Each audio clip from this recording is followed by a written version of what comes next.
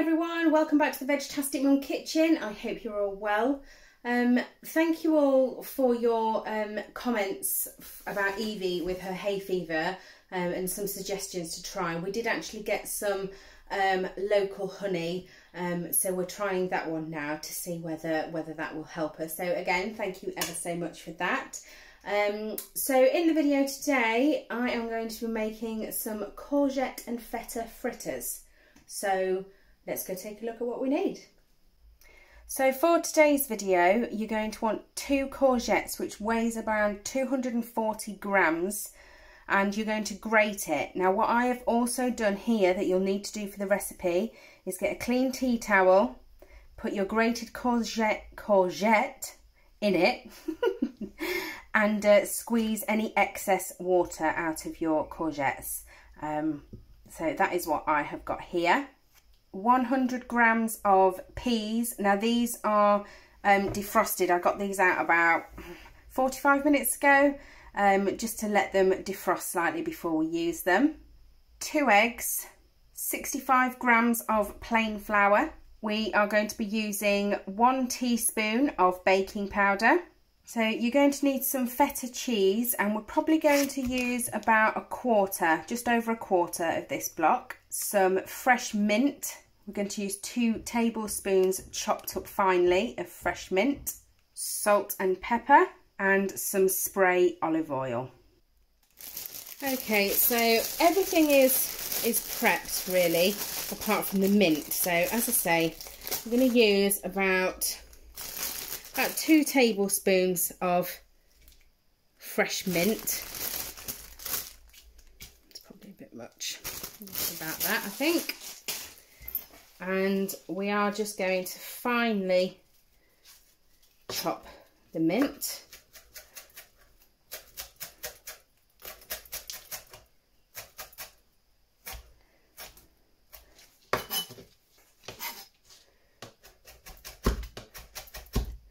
just chop it up as finely as you can.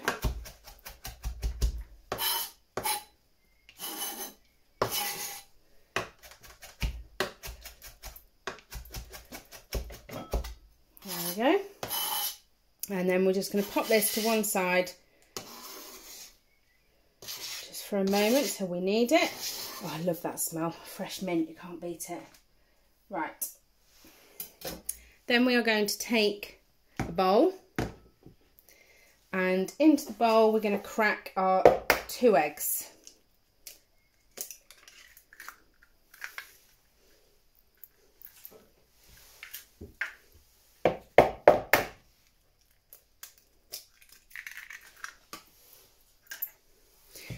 Whisk those up a bit.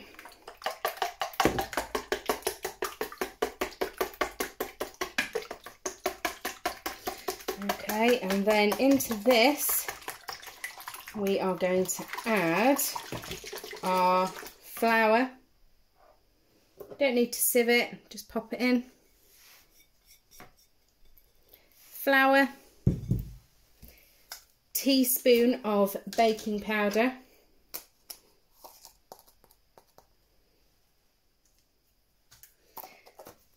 and we're also at this point going to add salt and pepper. And we're just going to get all this mixed together.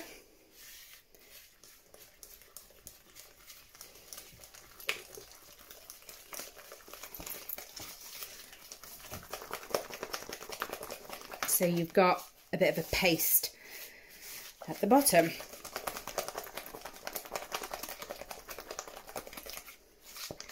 bit of a batter. There we go. Then into our batter, we're going to add our courgette.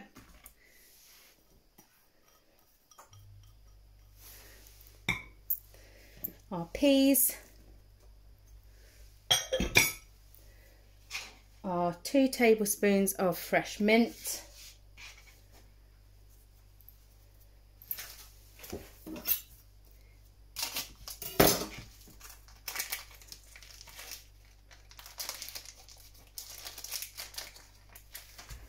and around a quarter of that 200 gram block of feta and we're going to crumble this in as well.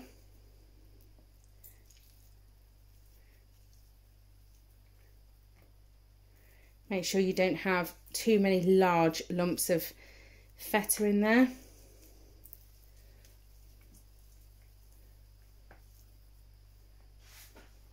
There we go.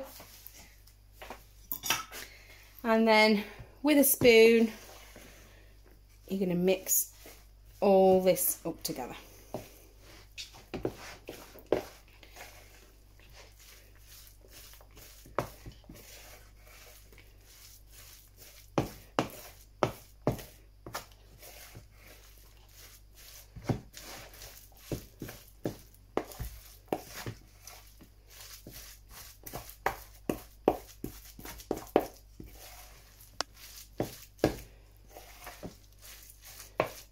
go. Okay, so you've got a nice thick, nice thick mixture there. Okay. Then we're going to take this over to the Cosori for the next step. Okay, so I've got the Cosori basket and I have popped a liner in the bottom and we're just going to spray some of our olive oil spray onto the bottom of our liner to start with. And then we're going to take our batter and a tablespoon and we're going to take a tablespoon of filling and we're going to pop it and just gently press it down onto our liner. So you're aiming for these to be no more than a couple of centimetres thick. And they don't need to be perfect round shapes, they are fritters. So any shape is absolutely fine. I'm just going to put three in here to start with. And again, you're going to take your olive oil spray and just spray the top of them. Okay, we're going to pop these into the Cosori. So we are going to cook these on 205 eight minutes on that side and then we'll come back to them in a moment. Okay, so these have just had their uh, eight minutes on one side. So as you can see, they've goldened up nicely. And when you touch them, your finger shouldn't go through them. They shouldn't still be gooey. So just show you those a little bit better. There we go. So now what we're going to do is turn these over.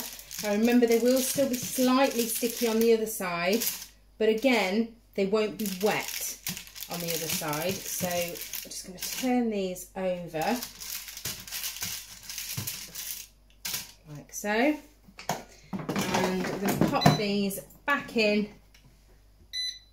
and we are going to do 205 for a further eight minutes. And then we'll come back when these ones are done. Okay, so these have finished now. So take these out and show you. Look at those. Absolutely gorgeous.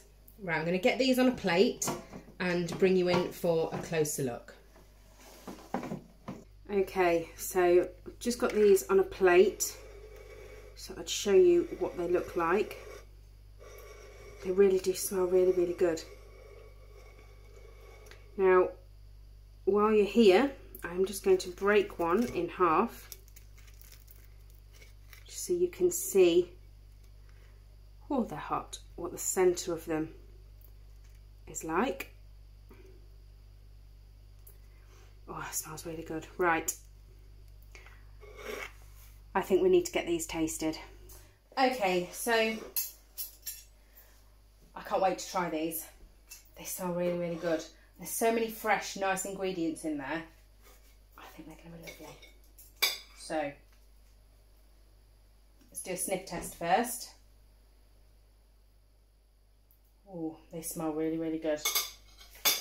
Here we go. They're very hot.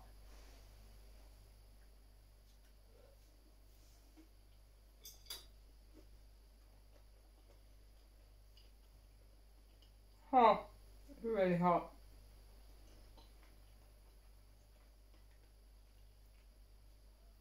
Oh wow. They are lovely. Really, really good. The feta isn't overpowering, which is nice. Sometimes it, it can be a little bit overpowering in things, but surprisingly you can really taste the peas um, obviously, you've got the mint obviously coming through there as well. The courgette doesn't taste of courgette. You can, you can't even taste that there's courgette in this. Um, it's really, really good.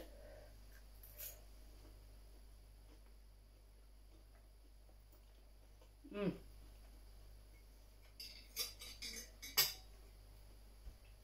They're lovely. Really, really nice. Now I haven't actually made these before. I've made something similar, but not these exact ones.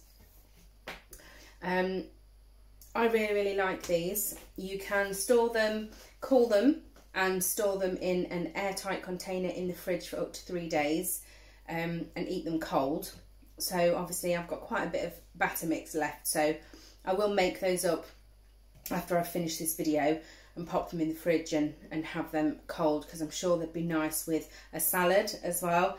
Um, and even like this, I think for my tea this evening, I'm going to have these, um, a couple of these and a nice bit of salad. Um, I think they're really, really nice and quite quick and simple to make.